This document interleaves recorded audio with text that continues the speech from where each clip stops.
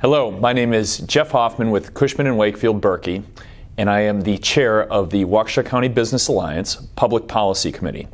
The Waukesha County Business Alliance Public Policy Committee comprises of a board of several engaged members of the Waukesha County Business Alliance that help develop and implement public policy goals and initiatives that help improve the business climate in Waukesha County.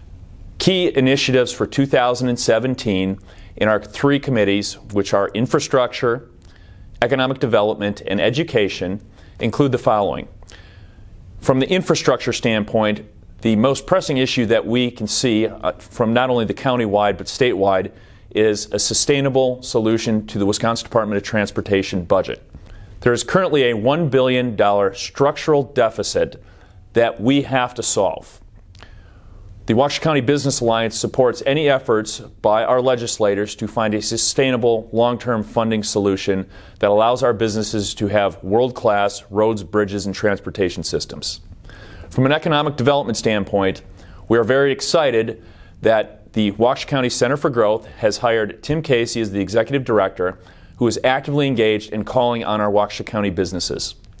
We believe that with this new structure put in place, that we are going to be able to be at the forefront of recruiting, retaining, and growing businesses within our community.